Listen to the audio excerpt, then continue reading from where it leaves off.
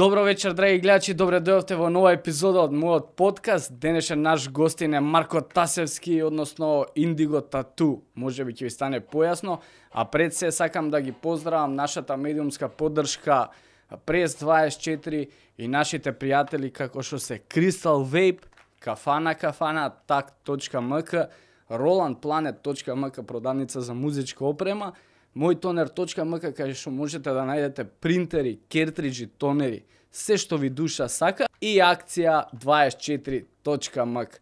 Уживајте у подкастот. Добар ден, драги гледачи! Во подкаст го имаме најпозитивниот, најдобриот, све нај-нај, Бомбакис! Сите се мјутирани Јас битно така? сум мјутиран. Те молам. Ај, збори. А шлицо добар ми е, не ми се познава. Не е откопчен дуќано. Uzet ću ti sve, ma uzet ću ti sve, moja ono duša je... Zdravo, zdravo, ja sam Ron Alex. Ma znaš neka, zna, ne zna neka vas sve ide, tako? U Uvjetar. Ako vam pozdrav do Mona Alex. Супер, брат. Јас сум А немаш најава, ништо, идеме старт одма. бомбаки ставе, па мислам после. Ама си тираме вака си Да, шиваме. лагано, па и знаеш. Да, бе, да. Са, не сакам да да да скроз. Сам да те копирам, знаеш дека. Да, ние немаме најава. Подкаст идете директно. да- Па, ние немаме Мал. најава. Да, да. Ама да. кај нас, кај нас ние сме први што немаме најава. Да. Имаше прв без најава. Ајде, ајде да, да се си да. Јас сум. Фала ти. Браво. Марче, добро вечер и добре дојде во нашиот. Многу е, многу е јако вака која која снимаме. Многу е јако вака која снимаме. Нема никој вака у студио и ти Као да зборуваме на збору- некој. Да, со као да имаме публика. Добре тука. дојдовте. Добре дојдовте во новата епизода на Бомбакис подкастот. По, по, по. Сегачен гостин е Марко Тасевски, тату артистот, еден од подобрите, еден од најдобрите, бре. Па подобрите и Мислам дека- с- исто е мислам дека вајда. Ама не, не знам. најдобар. Не, не, најдобар. не, не. Уште го немам тој епитет, мислам Да, дека. ама добре дојде, фала ти што дојде, фала што ја прика, а, прифати по, поканата. Секогаш за тебе, брат. Фала, Фала на ти, покана. исто, истото го имаш и од мене, знаеш, да. Па и респект. ти кај мене на подкаст, бра, брат. Ба, не тетовирам ја. Ќе Може, некако special edition ќе направиме. Можам да кажам за оваа тетоважа дека јас сам си ја тебе тетовирам. Може да се рачунам како тату Готово? артизура, Си да. више, да. Е, па, Навлезан. готово. Значи ќе идеме кај човекот у подкаст. тет-а-тет. Тета-тет, да. Е, си го изрекламира како што треба, ама ќе го ќе го кажеш, ќе го кажеме После тоа. ќе го кажам. После да да стигнеме до тоа како си, шо правиш, дали си добар? Ево, брат, од работа буквално пред малце завршив добар. Не знам, релативно е тоа. Не сум онака одморен како што треба кузна од кога. Искрено, секој ден по 2-13 сати на работа. Ти стварно треба ли одмор? Па ми треба одмор многу, ама мислам дека не е сега правото време за тоа. не можеш нека да си земеш одмор и да Можам, брат. Јас си ги закажувам термините, ништо не ми е нож до грла, ама периодов стварно сум overwhelmed, како да кажам, онака со работа и ду, дури некојаш, не знам, еве сега вчера ми беше прв слободен ден после не знам колку време, брат. те некако бара, се погоди, Те да. бараат луѓе, мислам, Па, сака да се тетовираат. Да, брат, желба за вајда. Ама се трудам многу м, не знам, ми сакам ми фали.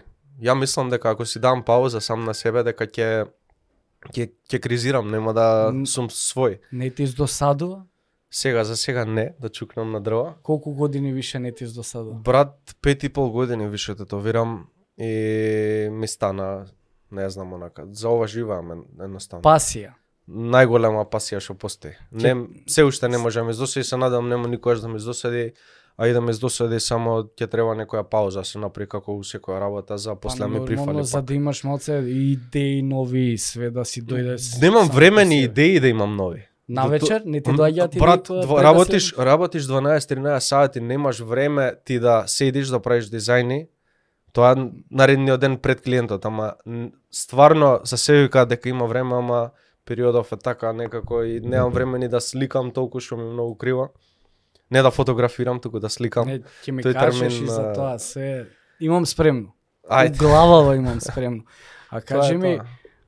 Вреди ли жртвата за за што го правиш? Па вајда вреди, брат, еве, не знам,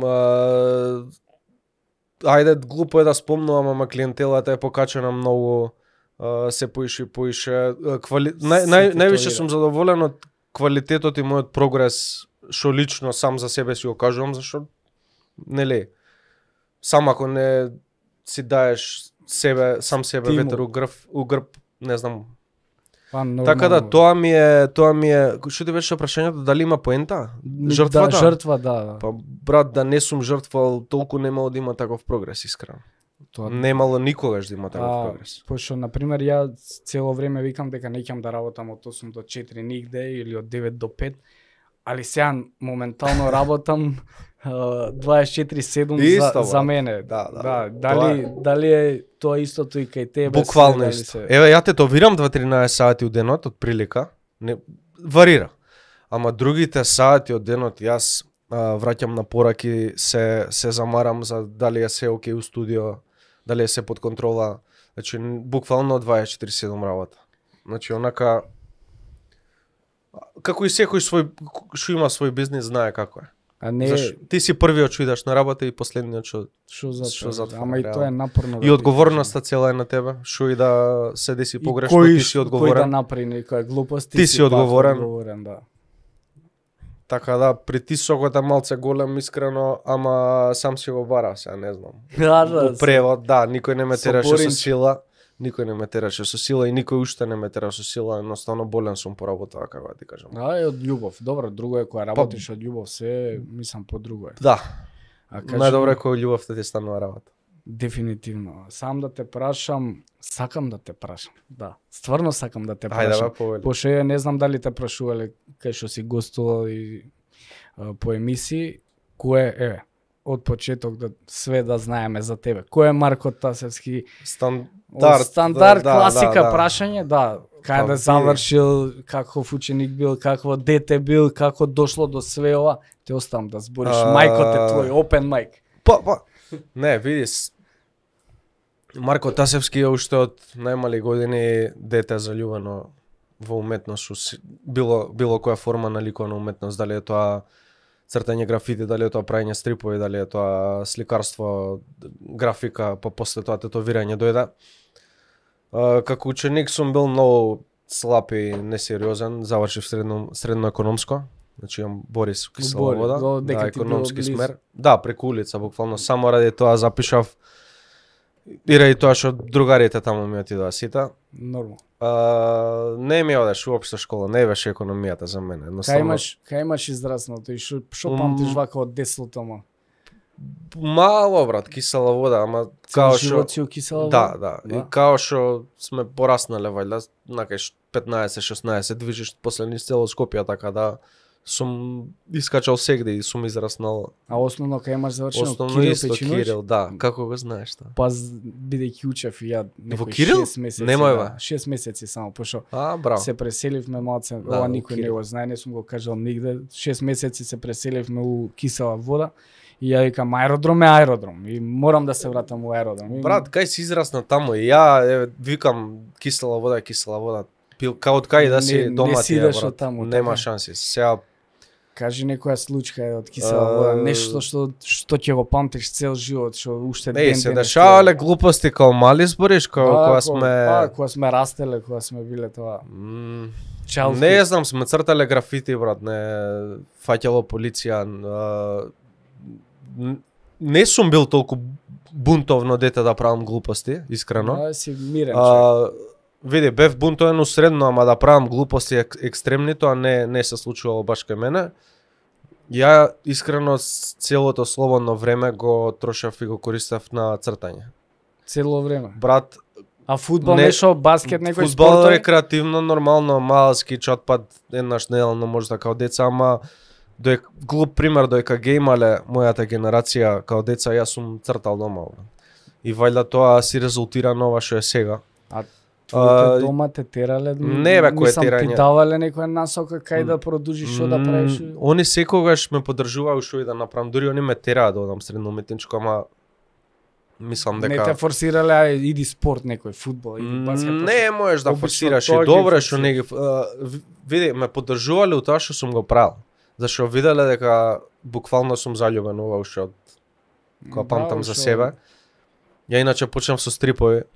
Кога е почетоците? Па графити и стрипови ми се можда од 14 години, 15. Значи креирав стрипови, одев Прво у тетрадка? Да, да. Одев, одев на некои фестивали за стрипови работилници, имаше графити нормално, тоа почињаш. После тоа ми дојде некој на 16, мислам првиот реалистичен портрет да пробам. А пред тоа многу од поодамна, ако рачунаме основно и забавиште цртање нормално тие училиш, училишни вежби што се. Си бил најбољи од сите деца што цртале? До баш преес како правевме студија мојата, ми дојде другарче од основно што ми од забавиште и јас заедно со уште двајца до четврто деление бевме под еднакво талентирани и квалитетни која се работи за цртање. И после? Значи ете не бев најдобар. Бев меѓу тројцата најдобри. Да. С- Како Само ден што денес. Можда, да. Само што ете, они не продолжиле по тој пат, јас сум продолжил, така да тоа е можда доказ дека не е талентот уопште пресуден тука, може би е, не е талент правиот збор, може би е предиспозиција, да ја ги гледам тие работи на различен начин, да ги осеќам на различен начин, ама едноставно ако не работиш на тоа како и со се, нема, да, не може. нема, И еве таа, пак се враќаме на таа жртва, брат, на тоа секојдневно, еве, глуп му еве, дека геймале сите Исто ја сум и спортистите тоа, имаш ти сигурно имаш талент, само треба да работиш на тоа за да бидеш 100% спремен како што е рецимо сега на пример Леброн Джеймс. Со се е така бе, колку, еве Леброн или Коби или колку утнале за да погода толку. Па да, да Или мораш, не знам за Коби има она мама менталити брат, не знам сите доека мене тоа многу ме мотивира искрено и се пронаоѓам. Он има давно по интервјуа сите доека иделе на одмор, нели имаш месец ден одмор у, у година. у годината. И баш му се љутеле као зашо не доаѓаш со нас, зашо не искачаш никаде. Ја иначе многу ред, нередко изгледам кога има само потреба нешто искрено. А, и он им, и он им викал као поради тоа што а, не сакам еден ден да си речам можев повеќе. Зашо кога тогаш мене грбот ќе ми откаже, концентрацијата ќе ми откаже, видо ќе ми откаже, дали е тоа на 40, дали на 60, кога тогаш. Значи, Исто сака- и он. Зашто таа мисла, а, мислам дека може да те убие многу, може повеќе. Од нереализирани таленти и нереализирани луѓе. Ма, значи, Така да ако знаеш дека максимумот си го дал, онака до до под крв и се што треба да се даде за за да една успееш. пасија, една љубов, па да успех. Uh, тогаш нема да ти биде криво за ништо, ќе знаеш дека тоа ти е максимумот, едноставно толку можеш тоа, тоа ти е потенцијалот, коцките тука толку ти се наредиле, зашто не секогаш зависи од тебе. Да, и треба и коцките да се наредат. Многу е битно тоа. Да. Кажи ми, а, Кирил Печинович, Кирил. после идеш у, у Борис, да. Борис, па после ликовна академија, сликарство. Ти сам си одлучи или како дојде до Сам, тоа? сам, без, она, к- какво да требаше да биде искрено. Борис е економско Не, и као- правно, нели, за тоа. Нема врска. Дури ми економијата сега ми помогна економско економското средно поради тоа што За да ги разбираш парите што Ама ги сепак е заработуваш ова сега. бизнис што го да, правам. Да, дефинитивно, дефинитивно. Зашто ако ја не ги контролирам парите, приходите, нема нема да има поента. Нормално, треба да се организираш, Да, треба добро да. да, се организираш. Така да се. економијата многу ми помогна, а ликовната академија се доја сама по себе како така да требало да биде искрено, кога да ме чекала да дојдам. А, тука беше малце проблем, ова е ништо тоа немам кажано уствари. Кажи си, слободно. Ја реков дека Кај нас таа генерација на ликовна академија сликарство само таа наша генерација прима 6 души. А секоја друга, значи таа пред мене, таа после мене примаа 12. Пробуваа нешто таа генерација мојата да примат 6 и да бидат толку. И ја поради лошите оценки од средно, зашто нели не учев, а на ликовна академија има приемен испит, каде што црташ а, акт, тоа е голо тело, имаш мртва природа и имаш портрет. И не се пресудни само тие три цртежи, туку 50 или повеќе посто удел имаат оценките од средно. Значи ја влегов у ликовна академија шести поради оценките од средно, значи за малце немаше ни да влезам да у ликовна влезам. академија. Тука малце сам со себе се- дали се разочаруваш, дали не знам, зашто многу ми беше битно да влезам таму. Едноставно ми сакам да сум таму, сакам сакав едноставно да ја да дадам титула на на тоа се, да дадам некое звање. Едноставно да и да се над, надградам, зашто таму ја со кој да зборам, многу не се задоволни од ликовна академија искрено и од средно уметничко, Па ама тоа сав да, да прашам ја. ама мене искрено ми беше преубаво. Го зборам ова на сите што што ќе контрираат дека ликовна академија не е добра, ама сам си правиш да ти убаво. Као викаат дека не можеш ништо да научиш у ликовна академија, ама тоа е правилно. Ти тех, техника не треба никој да те научи бидејќи имало класи, не знам, у ликовна академија на глуп пример дам, не знам, Петар Мазев, кај што цела класа личела на Петар Мазев. Не смеа до ликовна академија да ти наметнат стил, зашто секој е различен, нема а, нема правилна нема нема правила по кои треба да се водиш. Бидејќи е најпознатите сликари ever не се водат Да, по се- никои ликовни правила. Ни контраст, ни боја, ни композиција, ни ништо. Значи све само по себе си добро. Така да самото тоа, самата таа институција ми беше искуство предобро, е, највише учиш од колегите, едноставно таму си е, секојдневно со не само шест, ние бевме ја и уште пет, туку и други смерови, имаш графика, верство, педагогија, кај што ја сакаат истата работа како што ја сакаш ти. Така да не гледам зашто да ти биде лошо, сам си правиш да ти е лошо. Мислам, еве и да имаш лош професор, зашто да си го ставиш тоа у психа или у глава и да ти прави целата таа слика за академијата, ти биде лошо. А имаше врски, на пример, за да можеш да, да влезеш, пошто знаеш дека у Македонија живееме, ако немаш врски, не... Е, Као да не па постоиш. не знам, а, у мојата генерација не знам. Мислам дека се заслужено се беа сите тие што влегоа зашо баш шест души? Немаше поише луѓе што сакаат да Имаше многу многу се пријавија на сликарство таа година, ама така одлучила а, потуки ме ликовна академија, така одлучиле таа година дека кадарот треба се намали за да се посвети поише внимание на тие шест. Тие шест да бидат пропре да како што треба. Што треба, да. Да, подобро шест квалитетни и да им се посвети внимание отколку поише без 20 веза. онака да поминат. Нема врска, среќа у несреќа, ета малце тензично беше тој период, ама супер испадна се на крај си дипломирав сликарство. Беше болje од средно, така пошто М, више Ви, не, средно не можеш да не можеш да кажеш, средно си е средно, средно најубавиот период мислам у живот, најбезгрижен некако, нај Не, не, ти Не е да основно, ја, спориш. ја на пример сега да ме врати некој би ме врати. Би се вра- би се вратил основно? у основно, да. Фиксно. брат, ама не е не знам, јас средно, без У средно? Да. Пошто ја на пример у средно завршив у Јосип Броз и бевме тројца машки, 27 девојчиња. А што има лошо од тоа? Па не можеш на физичко со кој баскет да играш, не Е, можеш добра, со да. фудбал Да, да, да, да. играш, е, што ми беше. Иначе супер. Добра. е. И на Борис не. За очи така ти беше се убаво, тебе. Како и Да. Борис има, знам дека има исто доста Има, има девојчиња. имаше. имаш. Па пола од прилика не беа. Клас. Кажи ми првиот првиот графит, кај си го направил? Првиот графит кај мене на гаража, јас се подпишував Сенк. а, Букви, тоа е графит. Си бил, мислам, си гледал, од кај си гледал, од кај си Имаше научил, од на кај страница-?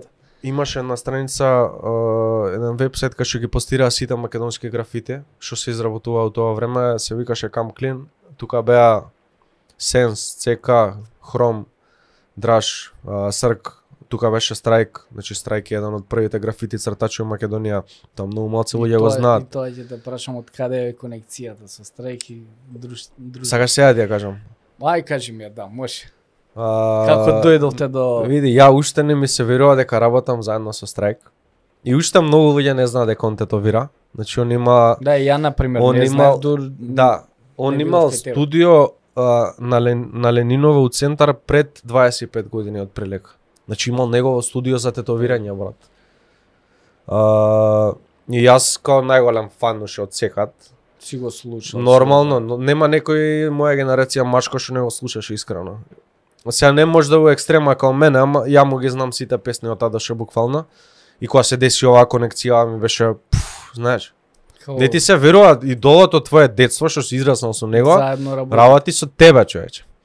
Конекцијата не направи Нено Мраз. А, ви, ни, јас со Страйк сум се гледал од промоции на, на цедиња на албуми, на такви ствари, ама Сидел на сите... на се, се што постои. Дома имам се. Значи, Колекција, фан. колекција огромна. И ден денес си му фан, сигурно, така. Нормално, најголем.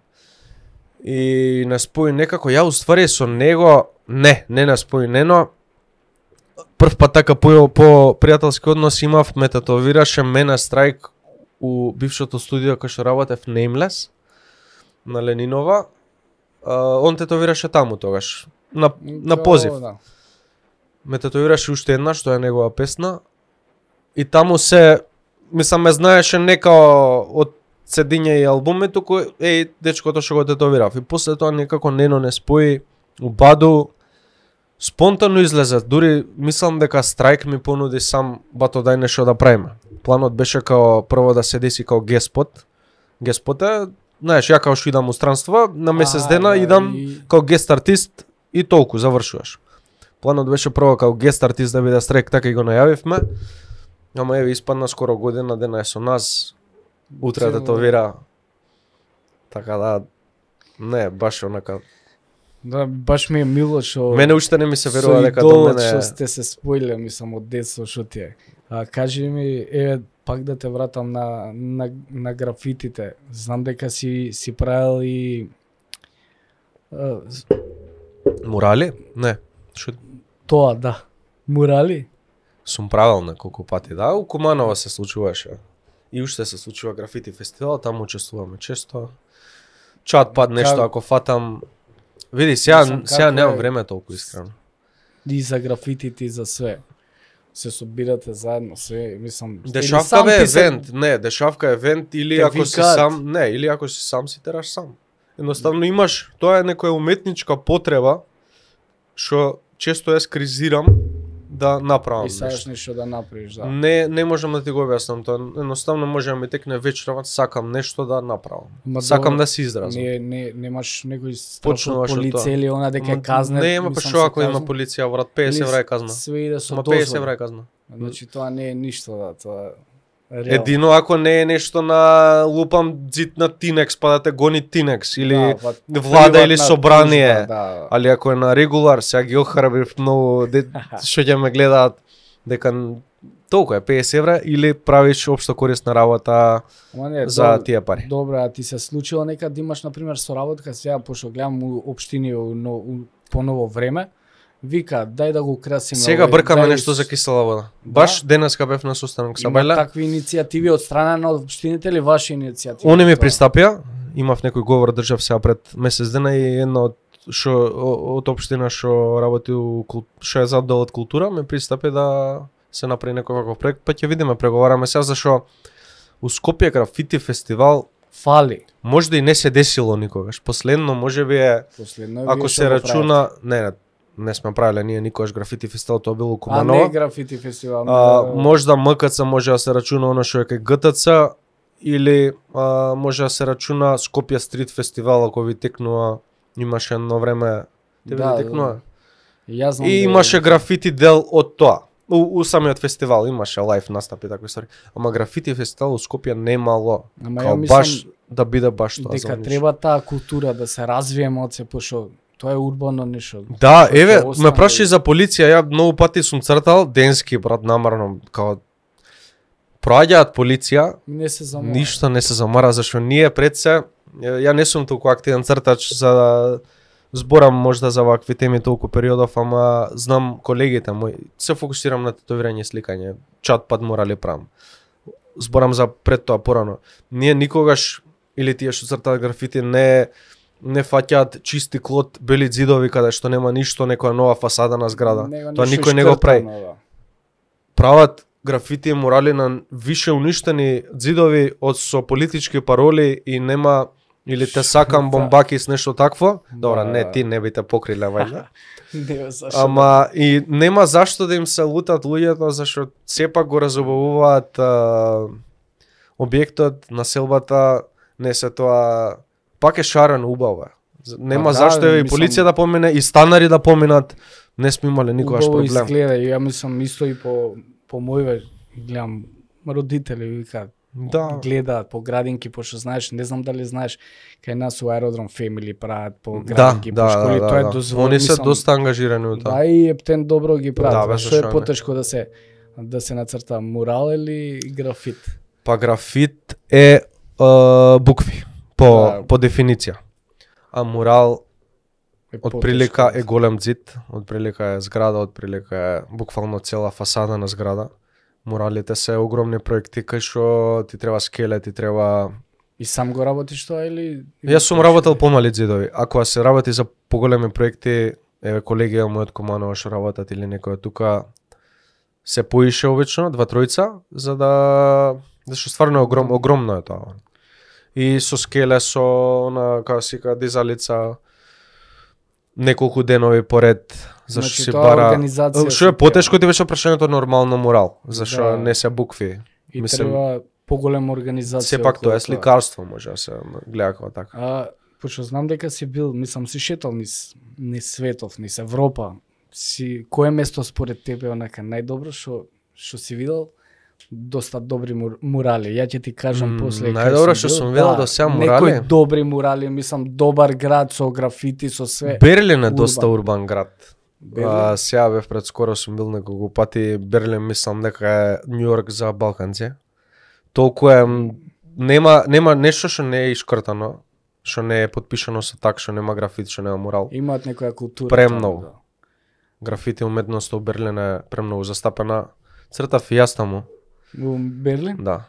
И како Па, помина? Пишав Скопје фалиш. Да. Да. А имаше Но некои малце кринж можда, ама препреки на, на, на кирилица? на кили- крилица во Скопје Па фалиш. да, може може некој ќе ќе Има види, има ќе- Германија доста македонци така да. Па дефинитивно. Не, ја ја сега да не се правам шериф, цртав на легален зид. Има у Берлин доста легални зидови. А, значи кај нив е дозволено. Има, тоа. и кај нас има легални зидови, ама пополнете се. Имало неколку, ама у Берлин има стварно доста и тој легален зид кај што цртав јас, сигурен сум дека за саат време мојот графит више не постоеше.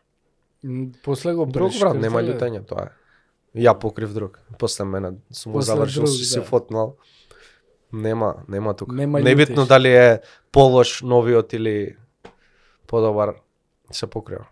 А, ја на пример сум бил у Лисабон, у Португал и таму сум видел многу јаки графити, многу, Како не, многу- и или- мурали, не само графити, мурали. Нью Йорк, Рио де Жанеиро, не знам. Не сум бил таму да треба Не да сум бил ја, да. гледам. Да. Кај, А, и Белград, еве да почнеме тука, и Белград се многу по... помислам дека се поише од, од нас понапред со времето. Мислиш? Сите, да, па мислам сите, Не. це, да, цел свет и цел Балкан е понапред од нас. Со Ама- тетовирањето сме тука, се не се јадеме. Да, ќе ми Тука кажеш, сме. не сме стигнале до тетовирањето. Не, Сав па да да. те прашам за за, изл... за за изложбата, за не за таа, него општо која прв пат си почнал да и што црташ, да. А, и кај си а, имал и што си имал и со кого си имал и кој ти бил кој те оценува. А, види оценување нема на изложби. А, сум имал поише групни, а, една самостојна, самостојната на 16 ми беше. А, во Дом на култура Кочо Рацин, тоа е бившо Хавана, центар Карчи Јосип Брос. А, да. Ми ја отвори Тонио Дом, Сан. дом на градежници, така мислам. Ето да. така, Дом на градежници, ја отвори Антонио Рангеловиќ. Гостин те беше тој. Да, ми беше гостин и треба и пак да дое, да го поздравиме човекот. Вака? Вака, добар. Вака? А, не ми текнува искрено многу од тој период, ама а, беа цртежи. Така и почнав, немаше боја таму. Тоа беше само молив, чисто лист, блок. И тоа е тоа. Реализам. Како улет, Едноставно, како улет у целата приказна. то не, кој? Да. Антонио за да биде дел Еј, па ајде слично со Страйк, а, сум израснал со негова музика, сум идел Но, по да, сите, ја по сите негови промоции на стрипон, исто е стрип уметник, не знам Да. дали знаеш. Се и професор. да, и со Тони имавме малце по поише вајле ме памтеше он. И мислам дека имавме еднаш два пати зборено пред изложбата за и види што цртам или нешто тако. И тука ми помогна мојата мајка ми мислам дека пристапи некако до неговата мајка. И зашто ја дете брат 15 16. Да, и Не можам ја да идам на како да го добиам прво. Тогаш немало на Инстаграм, Фейсбук. Како брат, нема Да, шанси, дај ми број, дај 15 години да ти се јави, да. дај да ми отвараш изложба, значи тоа не постои.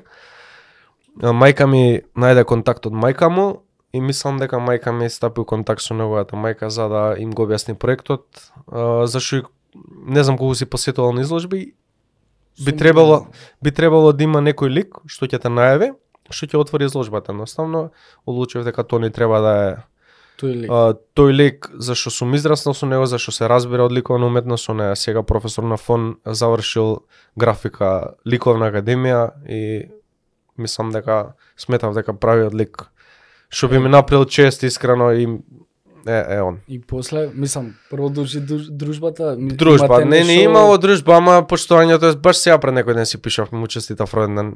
А Мислам, правил некоја таква пак изложба заедно со него, мислам, еј, некоја од кога, од кога нешто. спремам изложба, не си свесен. Со него Не, не, конкретно не, или не. општо ти твоја? Општо јас моја. А, ама никако време се најде од тетовирање ово искрено. Ете тоа тука е жртвата што се окей. Тука е жртвата што жртвуваме те сликање за тетовирање.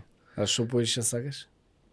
Брат, не знам. Едно мислам дека исто тоа се.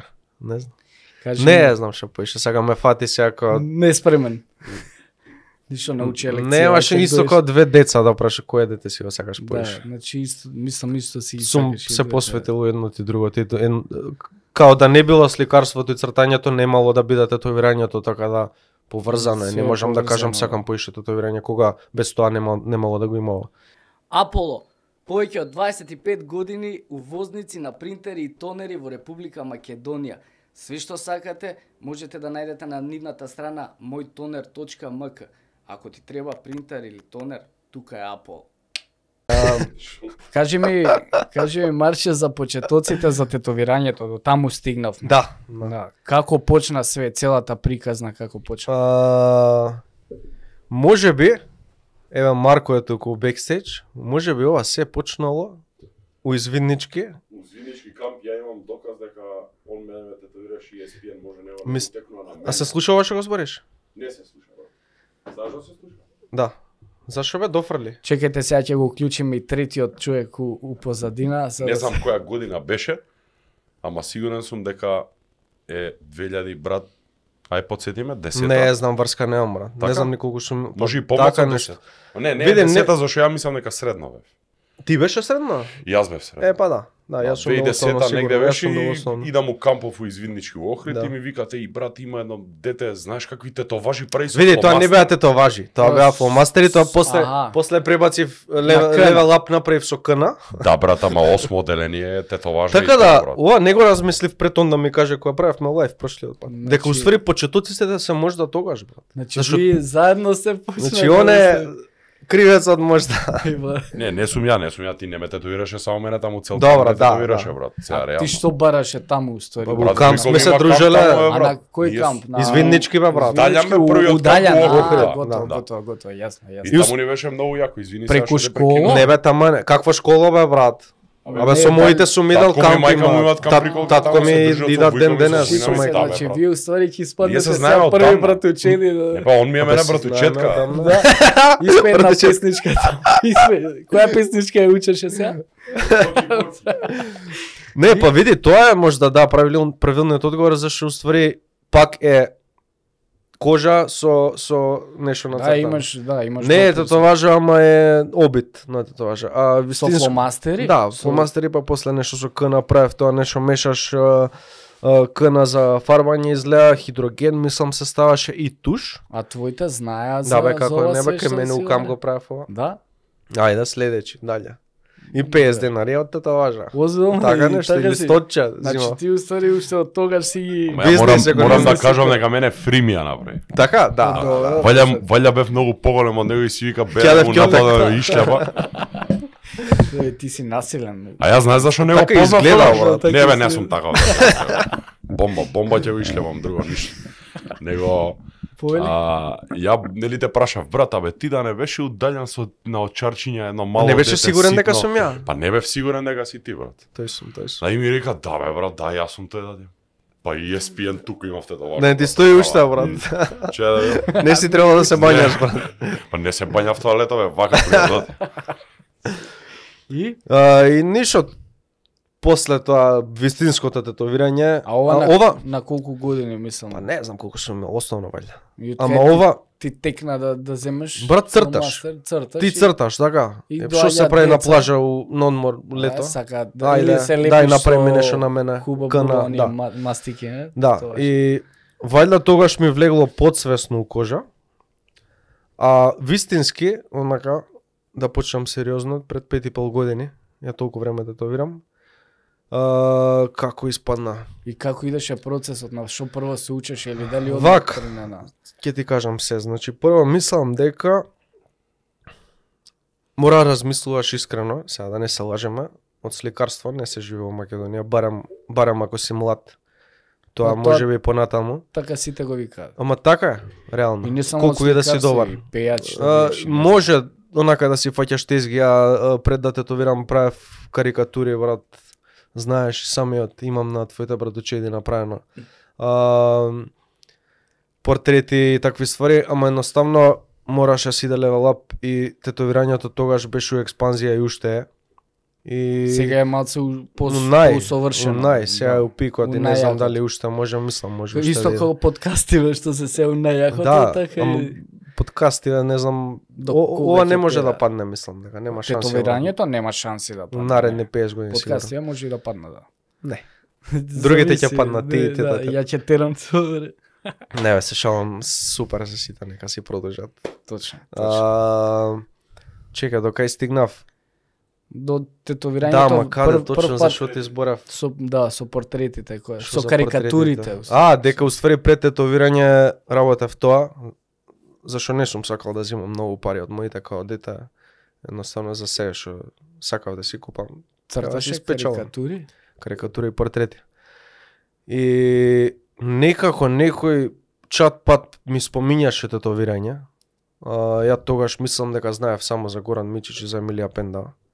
А, Тоа било одамна сигурно. па пред пет и пол години, шест брат. И како и ден денес, така и тогаш многу е тешко да најдеш apprenticeship. Тоа е да си чирак некаде, у некој студио, више А, за реномирано да студио. да учиш, да. Да, зашто сепак е занат. Ти колку добро и да црташ на, на лист кој ќе ти дадат спреј, не не значи дека исто, истото ќе го да. пренесеш како на лист. Ова е занат, алат што треба да го научиш. А, и многу тешко ми одеше да најдам apprenticeship тој период. Еве Емилија, ја спомнав, она стапи во контакт со неја тогаш пред 5 и пол 6 години, прифати да да ме учи, ама отида за Ибица. Баш го зборував тоа, пак ќе си го испромовирам мојот подкаст на тета. Да, Следната епизода. него, да. А, така да морав некако сам у свој раце да си превземам искрено YouTube најдобар пријател за за тето ми беше за, За тетовирање. Сите можни Све. видеа што постоја на YouTube поврзани за тетовирање, сите ми беа изгледани. Туториалите. Значи со месеци ја гледав само видеа. А, после тоа се осетив спремно, моите ми помогнаа тука за мојата прва машинка финансиски да да да можам да да си дозволам барем за основни работи. Зашо како и со се види можев ја да поминам и со машинка од 50 евра. Ама многу е добро кога у старт си со поквалитетна опрема, побрз ти е прогресот. А, Откако стигна тоа, после нормално мора да имаш експериментална глувчест, како и си, како и секој старт, не, не си утка утка ти се првите 10 фикс брат. 100%. Нормално Ако не поиш, ако не поише, да. Кој беше експериментален? Иван Андов, другарче моја.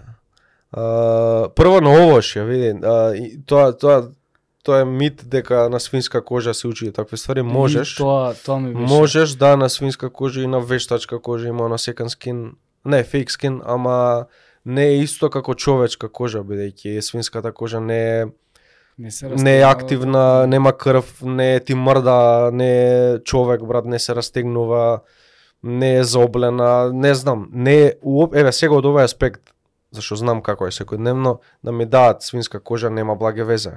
Со небо земја, да.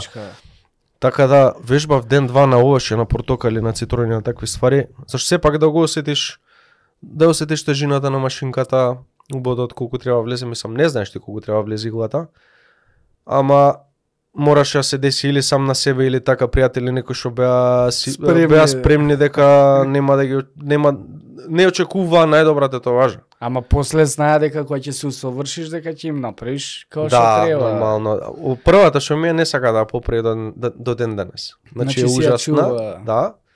Мислам Добро, тоа е ужасна. За тоа за тоа време, мислам за прва брат. Тоа Да, е. нормално.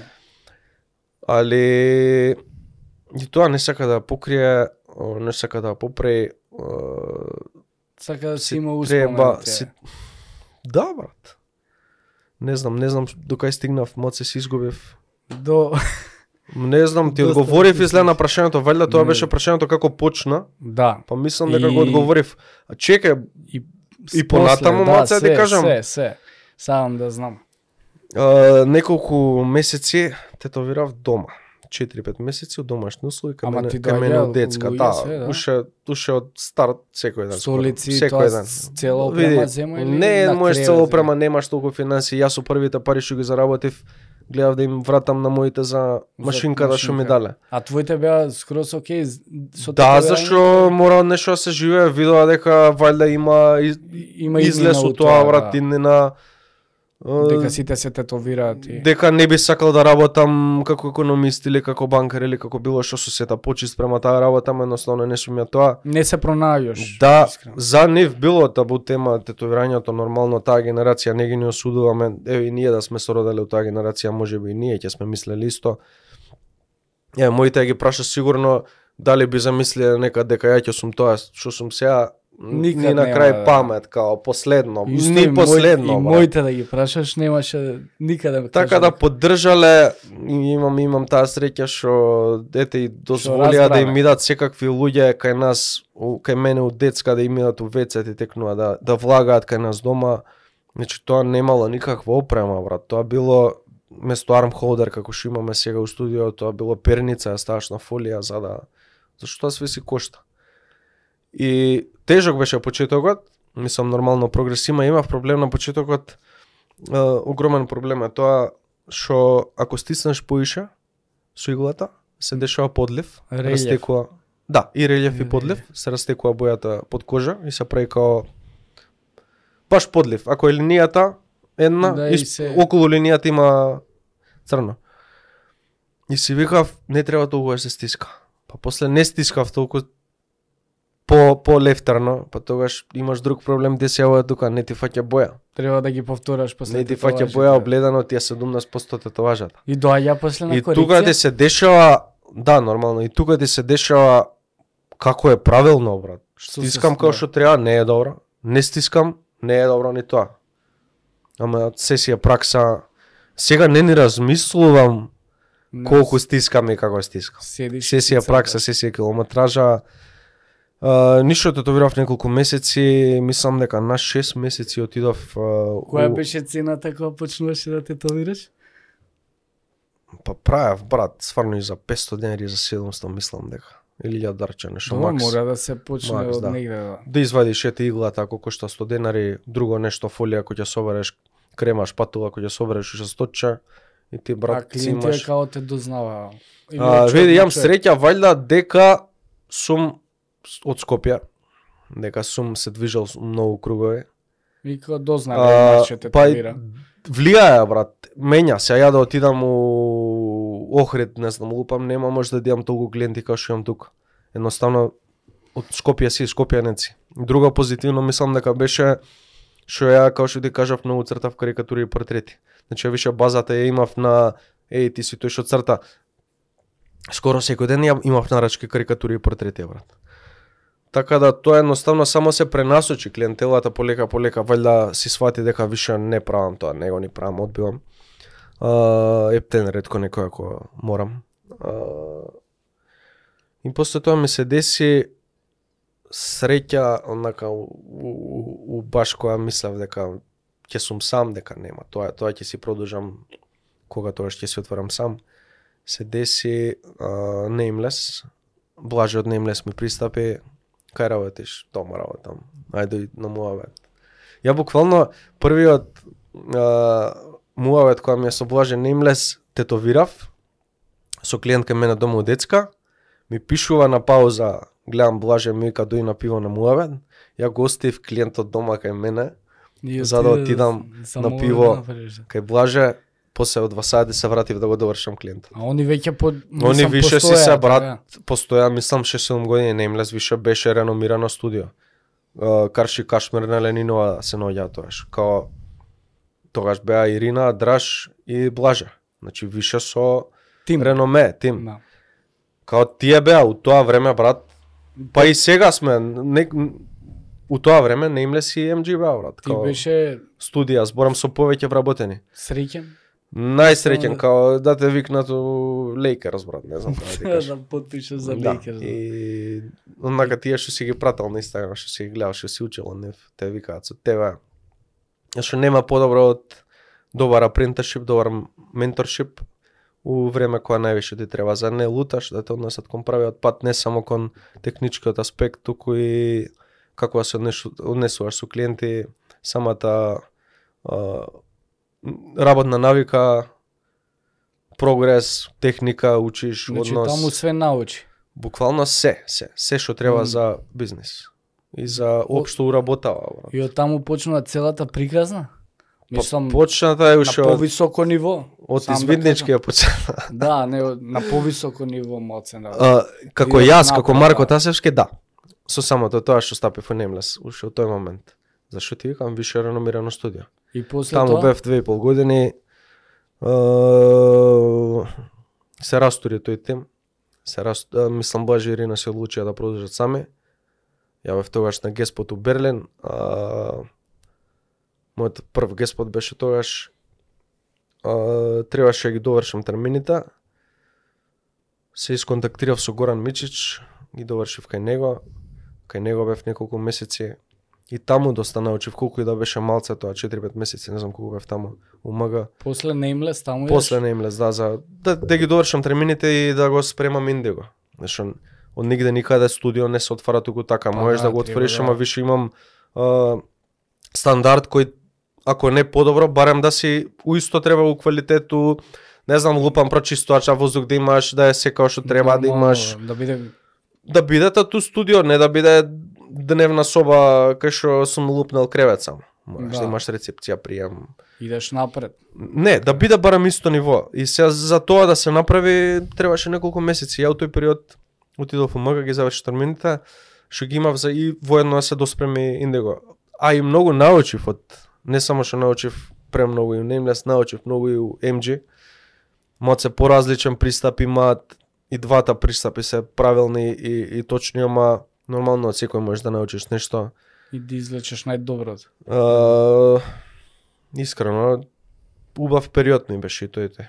А кажи, Индиго више постои две пол години после не, ќе ќе прашам за Индиго као све настанало и од кај идејата за името, него прво сам да те прашам за соработките за надвор од држава. Како доаѓа тие соработки? Мислам, Види, а, вајда доаѓа тоа мене до сега сите ми пристапиле они. Значи не е она, да, таму? да, не е она бараш оглас или нешто. Мислам постои тоа, мислам дека има некои страници си постираш своји тоа важи и барам апрентишип такви ствари.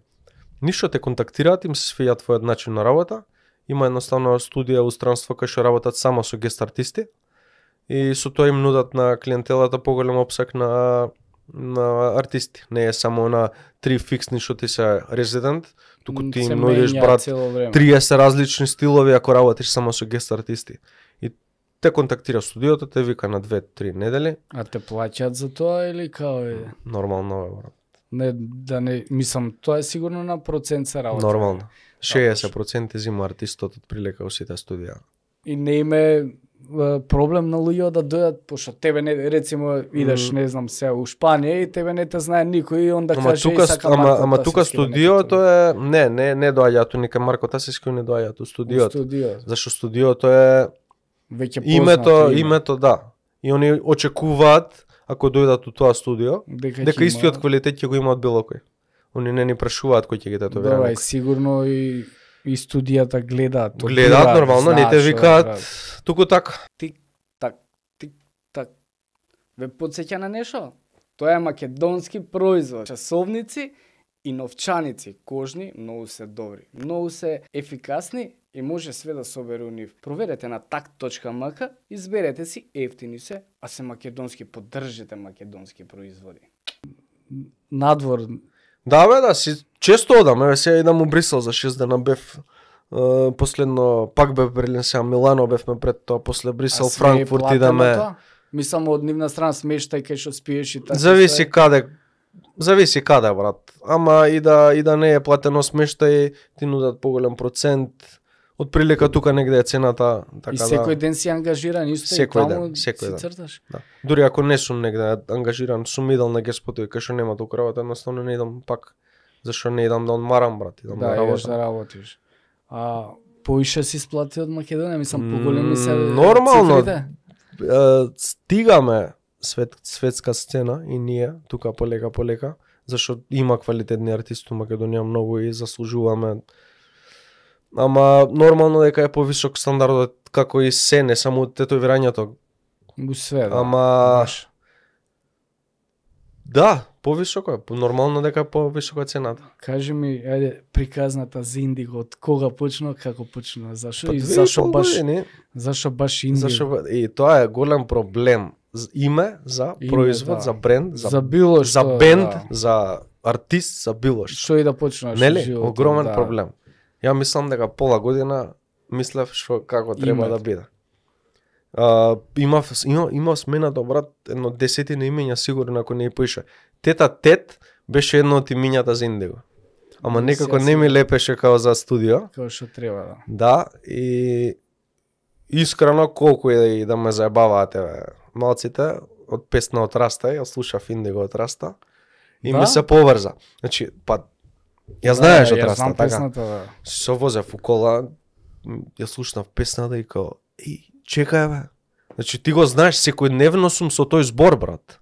Значи, у тату студио секојдневно се користи зборот Индиго. Индиго, нормално.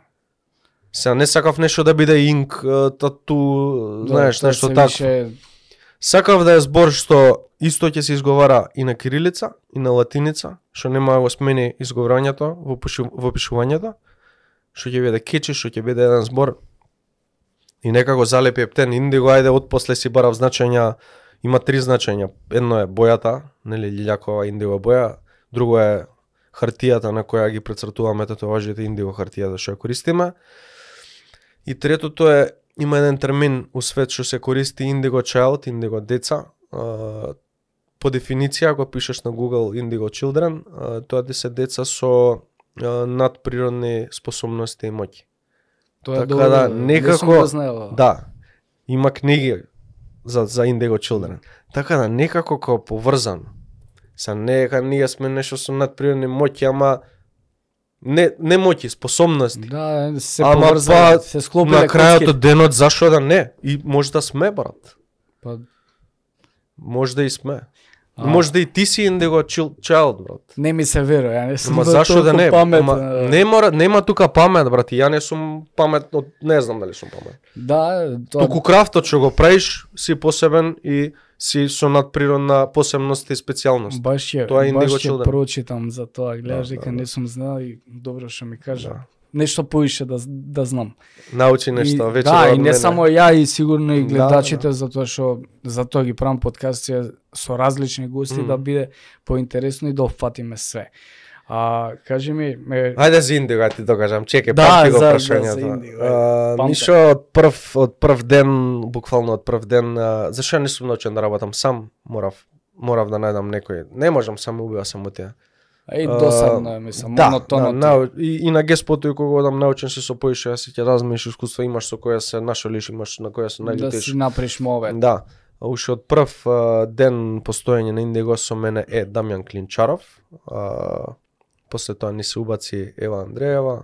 Да ти ги набрам членовите, чисто да се Да, изреспектира. да, ако да ги испоштуваме. Ева Андреева, после ни дое Маша, после ни дое Хранопровод. Хранопровод. Да, Ана, поздрав, Април. Ни дое Страйк. И сега имаме ново девојче Ангела што почнува и штучи. Значи сега сме седум вкупно Не сте многу у Индиго, брат? Па сме, брат, у таа локација што сме сега, ја знаете, Ама- може да некој више не е а, тесно, брат. И знам дека имате сега нов простор што Па Мислам, се крчка да, нешто, не знам, крчка ќе нешто. видиме. Ама многу поштувам за тоа што, на пример, ти споштувале тебе, те Прифатиле. вовеле у, Да, у да. целава прича и ти сега ги поштуваш младите, исто М, ги м, учиш на... Да, бидејќи знам дека нема подобро нешто од некој да ти даде ветер у грб. Дефинитивно и тоа е многу добра поддршка, пошто да не Само- почнуваат дома Само се. кој ќе видам, види ја ги гледам зашто некои одбивале или не прифаќале туку така. Мора да видат прво да заслужиш да добиеш шанса, брат. Тоа не да. можеш, еј сакам. Да. Покажи ми зашто сакаш, колку сакаш. Не може Дали да на свет сакаш? да цртам се, не не е Ама тоа. не, тоа бе, треба да ти се види Желба да има, треба да зашто тоа го сакаш, зашто сакаш тоа да го правиш. Желбата, пасијата, посветеноста секојдневно. доаѓаат на интервју кај тебе прво, мислам со М, тебе зборат или Не, пуштаат ви, си, не, не, не, тоа? овие што сме сега, јас ги имам најдено. Едино Аха. со страйк што, си, што ми пристапи, Добро. да. Девојче последно што ни е на мој другар, почина да тетовира, а другите што сме, јас им пристапив. Како блаже мене што ми пристапи. Да, тоа. Зашо Индиго до сега немало, немале, отв... не сме имале отворен оглас за бараме нови, зашо више сме брат. да. Да. А, туку едноставно видам, ќе видам како работат, ќе ги разгледам, ќе им пристапам. А ти не викаш некој од страна да дојдат тука да тетовират? Мислам артисти Брат, како тебе што те викаат. надвор? Не, не, мислам Македонија се уште за, За такво за нешто. такви нешта. Да, мислам можам да викнам брат, стојам добро, сум доста квалитетни, ама треба да му обезбедиш брат барем 10 клиенти day сесија. И кај нас македонското, брат, менталитетот е малце Ќе му, ќе му обезбедам две, две три сесии сигурно, ама дали ќе го имам респектот, треба да лице да оставиш, да го викнеш као што треба. Ние сме тежок народ. Еве, сега ја колку и да викнам јак артист, брат, појак од мене 10 пати, Нема да го знаат и ќе Ќе отидат кај него? Не, Нема да да отидат, сакаат брат. сигурно. македонското. Да, брат. македонски менталитет. Зашо? Ама ја него морам и повисока цена му да, не навикнат за поише. Па Друг да, проблем имаме тука. Тоа е плюс проблем, да. Така А, да, Кажи ми, само да те прашам за овие, за, за тетоважите, малце околу тетоважите. Која ти е најсмешна тетоважа што си ја направил? Која ти е најлоша? Од што више ти е преку глава да го правиш? Шо, еј, да не се навари да некој ако Нема кажам што што ми е више преку глава. Uh, Зашо да се го навари знаат сите тоа, уствари. Не е дека имам нешто против тие тетоважи што ќе ги напоменам сега. Трайбали? М, Е, многу малце треба ли ја направиме, тоа е помината имам валја, помина. Ама овие што ќе ги спомнам, едноставно не немам ништо против нив, Маори? ама толку многу сум ги правел, што ти едноставно е досадно. како што ти кажав преска, едноставно осеќаме тие што се бават со, со уметност некогаш да сакаш да покажеш што поседуваш, брат. А со ова сте презаситени више. Јас, еве, пример, колку и да имам да ми доеш, ти сакам лав на бут. Колку Аха. и да имам тотална слобода од тебе и да ми кажеш што сакаш пред со лавот, нема да се искажам така уметнички Како што- би се искажал како ја што сакам со нешто друго. Со Јане Сандански се искажа на, Да, на да, мојата да, да, да, да, супер испадна. Да. Така да не ја знам, ајде само лав ќе го дам како пример, не е како лошо, туку Дека... тебе да не доаѓаат само помаровци да се тетовираат со бе. не знам, не, од секаде да. А не. што ти е најмерак онака да тетовираш? А, у последно време форсирам и ми е најпредизвик и мерак а, колореализам. А, види, сакам портрети многу. А, уживам у портрети. Сакам а, карактери, сакам херои, сакам глумци од филмови, сакам спортисти. А која е најчудната тетоважа што ти ја побарале да ја направиш? И на кој дел од телото исто? Па две можам да се сетам само сега. Ајде три. А, имаше најчудна. Сега за него не е можда најчудна. За него не е, него општо, мислам, еви, може и мене ќе ми биде чудно. Да, имаше еден од прво две бемки имаше човекот, една до друга и само сакаше Да смајле да му направи. Не бе, не, не да ги спојам. Испод Смајли, да. очи и уста. испод доле смајле. Добро, тоа е поштено, да. Да. Друго имав порабет, леп со ајвар и сирење. Да. Да. Кирилица.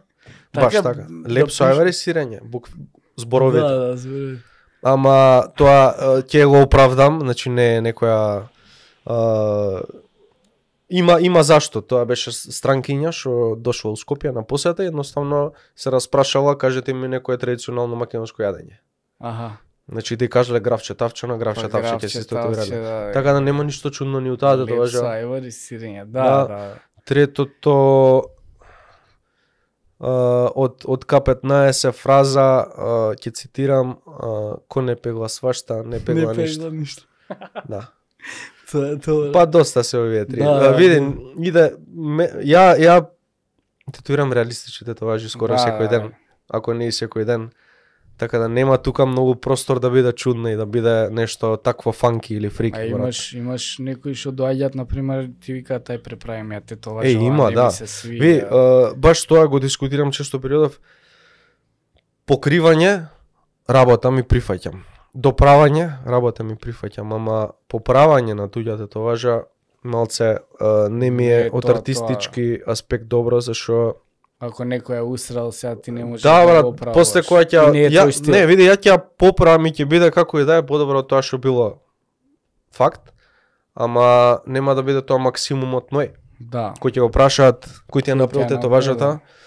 Марко ми е направил, тоа не е максимумот на Марко, брат. Сега Да, не е да. кане што се лупам огради, ама Нема зашо така е. немаш тотална слобода да се изразиш стил, артистички и едноставно зашо да еве ти да снимиш песна брат, ја ти ја доправам песната брат. Да, не не иде, не иде. Не иде. Нема љутење тука. Кажи ми, Тоа е. кажи ми вака е за за после за последно прашање за, Ајде. за вечера. Ајде. Идејата за тета тет од каде дојде? Идејата за дојде? тета тет. Да, а, пошто и е, тоа е, не знам ајде, гледачите се, дали знаат, ама имаш и подкаст и да, ќе се Преш- дрзнам да кажам првиот тату подкаст у Македонија. па реално е. Не, па така е. Реално е, нема до сега така. А, идејата дојде спонтано, пишав, пишав, ставив стори што фали на Што македонската тату сцена. И Имав таму наведено списание тату, имав наведено форум за татуажи и тату подкаст. Ова е пред три години, значи не беа уште подкастите толку Актуелно. Да. Као сега има И највише 120. воц 47, 42 од денес. Има еден нов ти го покажа. А, да, 40. да. А, и највише волци имаше тату подкаст. И некако а, не се задоволувам со едно нешто, и често ми требаат предизвици. Да, само што треба време. За Да, и се- долго време требаше за да се спреми тоа, се искрено. Од продукција, од бренд дизајн, од име. Да, Значи името ти кажав ми беше у фиока. го имаше. да, ама пак доека да побараш, доека го најдеш таа фиока ти треба да ги тргнеш тие глупостите прво. А и со работа, ја сега ден денес наоѓам тешко време да снимам, ама сега више сме помината е таа првата најтешката епизода кај што треба да наместиш се да концептот, што како треба да изгледа, се ти е спремно и сега многу Да, полесно. Сега ми одзема еден ден у месецот. А зашо вадиме една месечно? Ама у старт беше стварно тешко зашто со ова вие и ова Па- темпо што го водам ја да направиш проект Треба да се фокусираш. Брат, таму, посветено да си бара, да, и планираме а, до сега сме имале само само тату артисти, ама планирам да да не биде само тоа, да бидат и сликари, да бидат графичари, да бидат Али пак да бидат таа област, само ликовна да. уметност. Да биде ваерство, да биде да има скулптура, да има стрип уметници, Значи, да има по- графити уметници. Не по Дури ни таков подкаст нема. популарност, Не, не, не. само да биде за Ова е чисто за тие што едукација, почитуваат да. ликовна уметност, бидејќи има стварно а, премногу а, квалитетни а, ликовни уметници што немале не, не да излегле се нигде. да. Нигде не излегле. Еве со Емилија што на интервјуто ем- емаме вика немам немам 10 години дајно дајно интервју. Па добро, треба и они да се изразат негде. Зоки овој и што ни е новиот сега што треба да искача новата епизода, прво интервју ми беше Евар брат.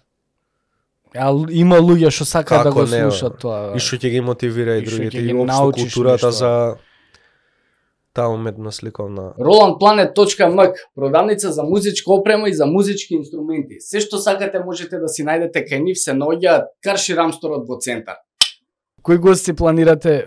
Дали имате замислено кои гости треба да ги викате? Еј, сите што многу има брат, сега да не ти набројувам зашо со некој не е за популарност, дали дали мислиш дека ја можам да дам кај вас у подкаст и да кажам, пошто сум тетовиран реално и сум преврнат А, Да, сега сега да ти кажам, значи планирам како а, како специјал да има Значи да не биде у регулар подкастите, туку да биде специјал, не знам, од 20 на 30 минути, каде што а, Ќе викате некој надвор еве тоа. ти, што немаш никаква поврзаност со ликовна уметност, те ставаме у посебен фрейм, Како немам пишам картони нешто, мислам. Да. Може тоа да е нешто. Може, ќе направиме. Ти те ставаме у фрейм, ова ќе биде 100%. Те ставаме у фрейм на маса, нас не нема, ти давам машинка, машинка за тетовирање и и fake skin и ја и нешто уствари да celebrities tattooing, Аха. нешто такво. Тоа тоа е добра идеја. ти Да, и брзи прашања и тетовираш, ка не знам, чисто за да се разбие монотонија и нас да не ни биде А можам на картон да пишам нешто со машинката или нема да направиме- фати? бе? Па нема да фати, ќе го да ископа фати. картонот. Ништо. Тоа. А, Марче, фала ти што а, дојде, фала ти што гостуваше. Мислам дека супер си помена, не знам екстра. ќе каже. Ми беше чест. Ти. Екстра, екстра. А, фала за све и се надам дека ќе ме викнеш у тоа У special edition. Да, у special edition како како што рече celebrity. Да, да, да. Знам дека тоа сакаш да Не слушаш. сум, не сум, не сум селебрити, јас сум обичен нормален човек кој сите, така да. Фала ти уште еднаш. Акција! Акција 24.мк. Нема што нема, има што има, а има се. Најголемата продавница за мебел и декор. Така да укуцајте акција 24.мк и одберете се што ви треба за вашиот дом. Од мебел до декор до све имаат луѓето. Ништо фала на покана. Фала на сите што не гледавте и што одвоевте внимание. Се надам некого го, го привлеков кон ова наше малце. Дефинитивно има луѓе за сите бранши, така да има луѓе што ги интересира све. А ја сам да ти дам поклони Немај ба, брат. од нашите спонзори, да, ова ти е од мој тонер. Фала А, многу. поклонче, ова ти е од такт Ле. најдобрите новчаници. Фала, брат. И Да си жив и здрав. вейпот од а, Crystal Vape ти го чувам надвор и тој ќе ти го подарам а, Фала ти, брат. после емисијава. Важи. А, Фала ви на вас што не гледавте и уживајте у вечерта, драги мои. Чао. Добар ден, драги гледачи! Во подкаст го имаме најпозитивниот, најдобриот, све нај-нај, Бомбакис!